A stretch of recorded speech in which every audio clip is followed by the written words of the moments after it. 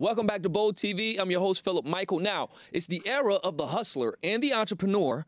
But before you jump in and make some money losing mistakes, take some tips from an expert. The expert not being me today, it's my guest. And my guest today is Lewis Schiff, Executive Director of Moonshots and Moneymakers, the Oxford Innovation Conference for American Entrepreneurs. Lewis, what's up? Hey, how you doing, Philip? We were just having a bit of a conversation off camera. I said, "Nah, we got to save this for we got to save this for the show." Tell us about your story. You've been an entrepreneur of 30 years, and tell me exactly what we were just saying off camera. Sure. So yeah, I've, I've done what everyone thinks you're supposed to do. I've raised millions of dollars in venture capital. I've sold two businesses, two media companies to publicly traded companies. What uh, were those? Know, did, what's that? What were those? I sold well right over right over here, uh, Armchair Millionaire. Let's uh-huh. see, I gotta get my camera. Yeah, right there, Armchair I see it. Um, For the viewers out there. I sold that to a company called iVillage, which was um, which went, went public on the Nasdaq, and then eventually got bought by NBC. I started another company called MainStreet.com that I sold to a company called TheStreet.com. Yeah, I wrote for of. them. I wrote for them years yeah. ago. Sure, yeah. So I sold them a business called Main Street, mm-hmm. and so you know these are media these are media.coms back in the day. And, yes. And um, and I raised venture capital, a few million dollars, and I had more failures than you possibly would ever have time to hear about.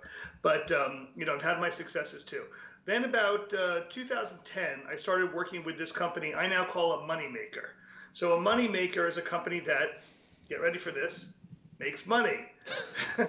so So these you know, you know, there's not a lot, there's not enough emphasis on the money making aspect no. of running a business. They talk about, oh, company such and such raise all this money. To me, I'm looking at, oh, this company now either relinquish equity or put on a bunch of liabilities. And 100% the main so. metric, which should be points on the scoreboard, i.e., dollars.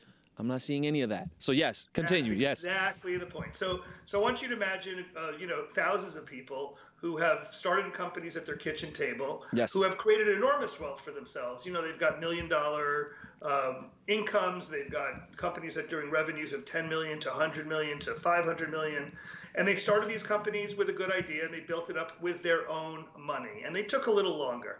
And I started a school called Birthing of Giants to help these folks go from where they are, could be $50 million business, and they want to turn it into a $250 million business. And we started this school, um, and we teach it for five days. We were hosted by MIT, and um, there was a pattern emerging, which is a lot of these folks were finding a way to incorporate tech in a way that was transformative. And by the time they were done, two, three, four, five years later, they're money makers had become moonshots, meaning it looked more like the companies a lot of folks dream about building. Mm. So they were doing 50 million in revenue.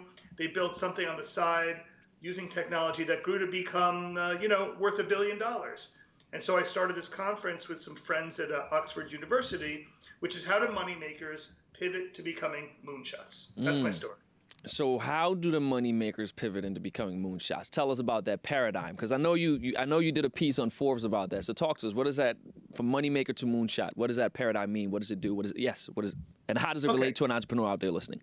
Right. So let me contrast to a, a, smart person with a good idea who says, "Let me raise hundred thousand dollars and get an alpha or a beta product, and yeah. maybe raise a million dollars and play the valuation game." Yes. Versus a company that's been around for ten years, it's doing ten million in revenue, um, takes a little bit of their profits every year, puts it into some kind of a tech play inside their business. Yes. That ultimately becomes that same kind of company. But the difference is they had a management team that they have been building over years. And you know, Philip, that surrounding yourself with a half a dozen really smart people is critical to success. They've been working on that management team the whole time.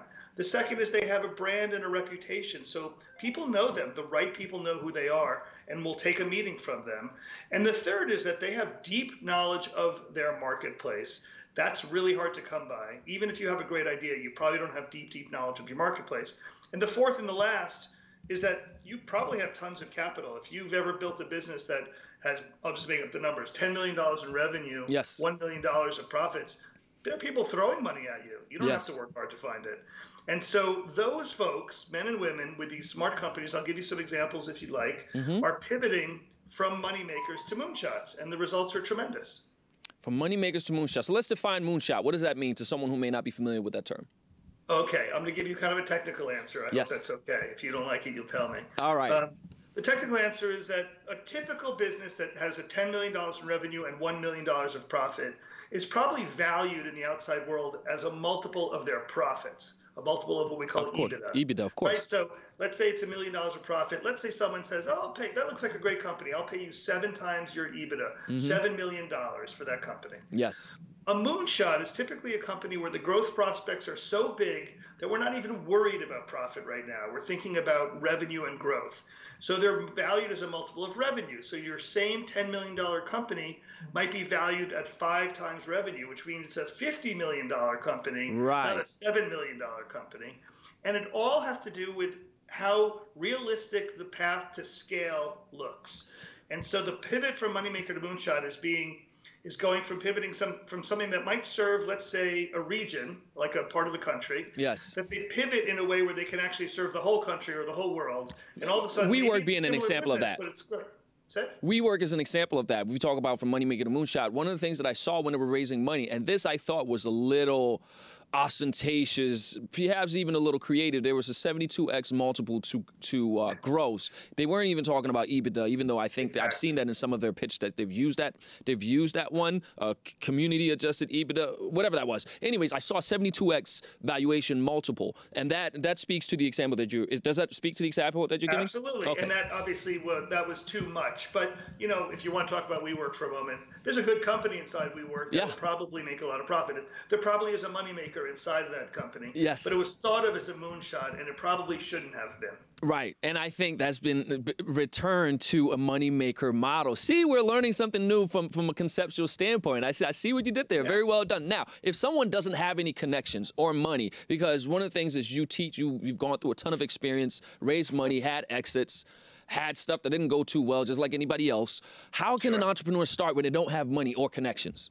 All right, let me tell you the simplest path to creating a business that makes money, and it's not that sexy, so I'll just kind of warn you in advance.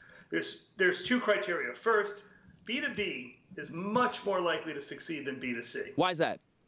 Because B2B, you'll have, let's say, 50 clients or 100 clients. B2C, you need thousands or millions of clients. Yes. And and, and yet we're all as busy. You know, if I'm going to fork over $100 for a, a meal or a pair of sneakers, I'm going to give as much thought to it as a company that's going to fork over $100,000. So if I'm going to sell somebody, I'd rather sell them something for $100,000 than 100. dollars mm-hmm. And it takes the same amount of effort. So the, the consumer is completely tapped out. Their attention span is completely wasted. Yes. You, you're competing with Coca Cola. All you have to do if you're thinking about B2C is can you compete with Coca Cola? Because they have spent 100 years and billions of dollars trying to get my attention. You better have something that competes with that. Right. So B2B much more likely to succeed than B2C. And the second thing is services are much more likely to succeed than products, meaning starting a company that provides a consulting service to to big companies in the you know environmental space is a lot easier than starting a company that produces a product and especially a product that consumers are supposed to buy. So I would tell your friends and your your viewers, you know, much better to start a services company that serves big business than a product company that makes something for regular people. Mm. Much easier path to success let's talk about uh, because I, I, love this conversation. I wish we had more time. One of the things I want to make sure we jump into is your conference. What is this about? Talk to us about the conference. Yeah, so this was happening around me so much. These companies that were moneymakers were becoming moonshots. So what we're doing is I, I had the chance to bring about 10 entrepreneurs to Oxford uh, pre-COVID in 2019. And by the time you got to imagine this picture, I have 10 moneymakers. These are 10 men and women who have businesses from 10 million to a couple hundred million dollars in revenue pretty smart people. Mm-hmm. And then they we, we hang out with what's called the Oxford Innovation Community. These are professors and academics who have created something. They've probably funded it with grants. It's it's AI, it's natural language processing, it's robots, it's molecular, it's wild, wild stuff. But they have no idea how to take it to the market. They have mm. no idea how to monetize it. So my entrepreneurs come around, you know, these 10 folks, and they're all about it. They're like, this can be in America, and here's how this can be licensed and here's how. And by the time we're done, the Oxford Innovation Community, again, it's almost a cartoon. You know, American entrepreneurs and sort of these, you know, fuddy-duddy academics yeah. from the UK. Yeah. And the academics' heads are spinning, and they say, "Please come back. We have more ideas." And we said, "We want to come back. We want to see these ideas because that piece of molecular te- technology, that robot, that piece of artificial intelligence, if I put that into my moneymaker, that's my moonshot. And that's where we got all excited. I love that because, again, there are so many smart people in there that have an isolated, uh, how can I put it? They have isolated intelligence in a very difficult uh, realm that has a lot of value if adopted on a grand scale, such as AI robots, as you mentioned. But they don't have the foggiest clue on how to bring it to market, run it, manage a business, monetize, market. No, it's a totally different skill set, and you need someone who's a Totally specialist. You need that money making paradigm inserted into it and i love it because this is now it all comes together full circuit circle the holy trifecta if you will you take the billion dollar idea with the grounded ebitda anchored um, money making situation inserted in there and that's like you said where you get your moonshot how do people participate hit us with it real quick because now i want to be there Yeah, you should be there. Birthingofgiants.com slash money, excuse me, slash moonshots. Um, birthingofgiants.com. I can never tell where I am here. Slash. Birth of a giant it doesn't matter it'll be out everywhere we'll make sure that people can find it birthingofgiants.com slash moonshots. We're bringing 50 entrepreneurs from America to interface over five days with the Oxford innovation community, and we're going to make beautiful babies together. Oh my gosh, I love it. Thank you so much for being here today, Lewis. Thanks, Philip. I appreciate it. And thank you guys for watching. I'm, you better put this on replay because this was some dope stuff right there. Make sure you watch it over and over because some some of the stuff might have went over your head, but it's trust me, it's good for you. It's like broccoli. But like I said, thank you all for watching. Make sure you follow Bold TV on Facebook, Twitter, Instagram, TikTok, and YouTube. Have a great day, and I'm out of here.